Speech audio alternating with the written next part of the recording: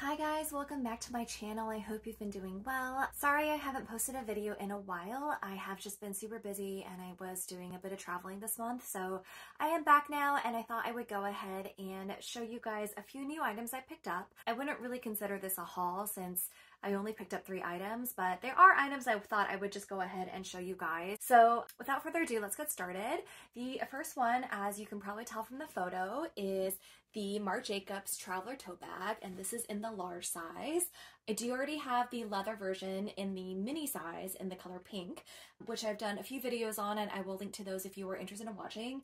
I do really like this. It's big and sturdy, and for the longest time, I just held out on getting this bag because I didn't really think I needed it, especially since I have the pink one in a smaller size. But I do sort of realize that the size is really, really useful, and especially with this canvas, it just it would just be such a good workhorse, especially for traveling and I do have a lot of trips coming up this year and I was just thinking this would be very, very comfortable to carry on an airplane. You know, as much as I love the Chloe Woody tote, I've pretty much been using that constantly, kind of become my new go-to work bag. That bag size is perfect and I will definitely do a comparison on those two, on this bag and the Chloe Woody tote later, but it is just, um, it's a good work bag for me. And for traveling, I definitely need to carry a little bit more. So I was thinking this would be a really, really good option. Um, I did get this off of SSENSE. They were doing a 15% off sale earlier this month. I think it was sometime in mid-March. And also I'm just a sucker for the color blue in general and I really, really like this particular shade of blue. So I thought I would go ahead and pick that up with the 15% off and I'm really, really glad I did. I haven't used it yet, so the tags are still on here, but I'm certainly going to keep this and I'm just really excited to use this as a really easy grab and go tote for either weekend trips or airplane rides, that sort of thing. So we'll see how it goes and stay tuned for comparison videos with this coming up later. Moving on to my two boxes right here, so I will save this for last. And here is a Matches Fashion box. I just love the packaging that Matches Fashions does. I think the way they wrap up their items is just handled with such care and it is really a pleasure to unbox their stuff. So I've already opened the item in this box and just for the purposes of the video, I did kind of put it back in there so you can kind of see how it's packaged. And I did use this item already on my trip to Las Vegas recently, so this is not a true unboxing by any means, but wanted to just show you guys what it looks like. So here is their beautiful box and then you just open it here and then you can see the tissue paper. I did rip off the sticker, but that is where it would be taped together.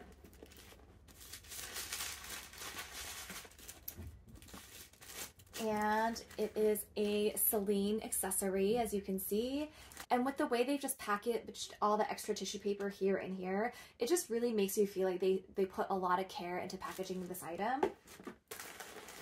Here's the Celine box to reveal a pair of sunglasses. So here's all the extra packaging. It was wrapped up very well, but I did wear these already. And here is the Celine logo on the sunglass case. And it's a pretty nice flat case. Um, it can fit very easily into smaller bags because the case isn't too bulky. I definitely have some sunglasses cases that are just gigantic and take up so much space, which I do think is nice because you do want to keep them protected. But there are also instances where it's just really easy and helpful to have something that's much more flat and can fit into bags easier. And I don't know the exact name of the sunglasses, uh, so if I so if it's listed on my emailed receipt, I will go ahead and pop that in the description box for you so you guys know the style number.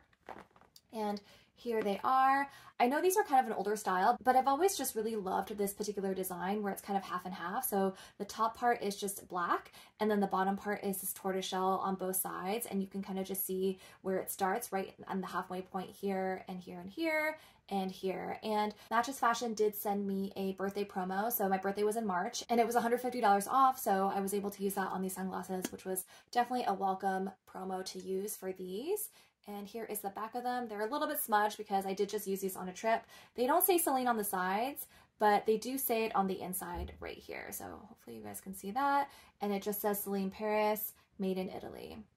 And yeah, really, really like these sunglasses. Definitely excited to use these as the days are getting longer and there's more sunlight now. Okay, and finally we have a little orange box. You know what this means. It is something from Hermes. I did not use any promos or get this on sale or anything like that. I just picked this up in Vegas at the store at the Bellagio. Um, it is something that I have sort of been wanting for a while. Someone had asked me a while ago if I was ever going to do a wish list video and I've sort of gone back and forth on that for a little bit. I kind of see both sides of it, right? There are times when I think it's really helpful to have a list because it kind of gives you goals to save for and kind of keeps your eyes on the prize. And then I also hear the arguments that kind of go against the wish list where it's sort of just like a really expensive shopping list, puts you in the mindset of having to buy, buy, buy constantly. So I definitely understand both sides of the argument. I think for me personally, the reason why I haven't sat down and done a dedicated wish list video yet is because I do find often that the things I want change quite constantly. For example, even this tote bag wasn't really high on my wish list until pretty recently is when I started thinking about it a lot more. So obviously there are some items on my quote unquote wish list that have been on there forever and I'm just kind of waiting for the perfect time or waiting for the item I really, really want to become available. But then there are a lot of times where I just make, I wouldn't say they're quite impulse shopping decisions, but I do really try to think uh, very carefully about what I am going to buy and how I'm going to use it before I pull the trigger. Obviously, that's not always true. There have definitely been times where I just saw something that I absolutely loved and purchased it. So, sorry for the little side note here before we get into this unboxing, but I guess just to sum up, I'm kind of all over the place with my shopping and it's possible I will go ahead and do a wish list video someday,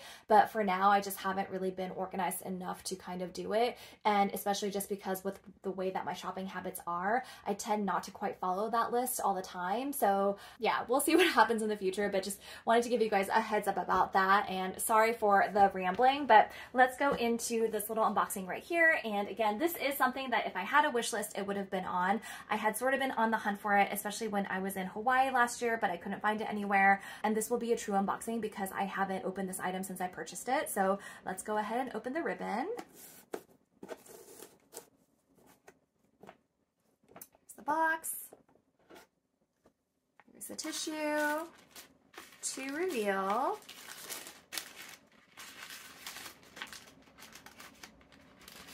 this little change tray. Now, this is the most buttery, soft leather. I adore this. And so you can see it's brown on this side and maroon on this side. And it does say Hermes Paris made in France up here in very, very small embossing. And it does have the H right here. And what you do is you just snap this up like this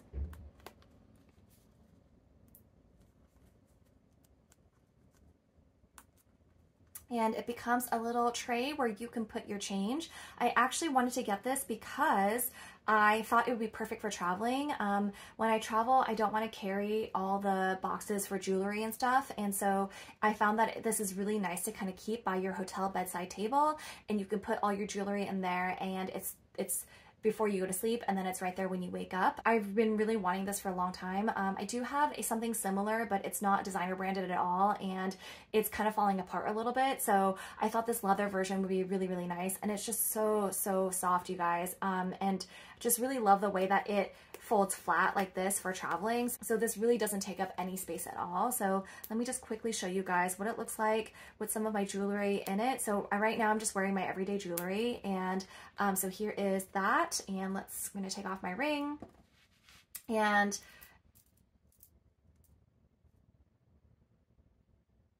taking off my Juste un Clou and then also taking off my brand new VCA bracelet. I will probably get this resized, so I'll do an update on that. Um, it does fall pretty low right here, but I also want to consider the fact that I have the Juste un Clou and I don't want them to get too, too tangled up. So I do need to take this in to get resized. I don't know how long it's going to take. Hopefully it doesn't take that long, but I really do love this bracelet and I'm really, really happy that I got it. So I'm just going to take this off. Sorry, I'm rambling and it is taking me a while to do this.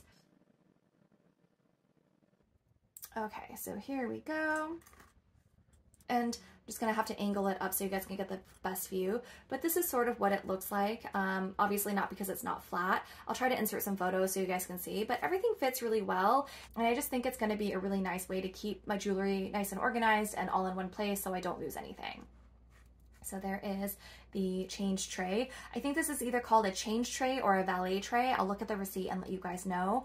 Um, I also don't remember the exact cost off the top of my head right now, and but I will put all that stuff in the description box. I think it was 450 before tax or after tax, something like that. So that's it. Just three new items to share with you guys really quickly. Thank you guys so much for watching this video. I hope you found it helpful. If you have any questions about anything, let me know and I will do my best to answer. If you could please subscribe to this channel and also give this video a thumbs up, I would really, really appreciate it. I hope you you guys all have a wonderful day and I will see you next time. Bye!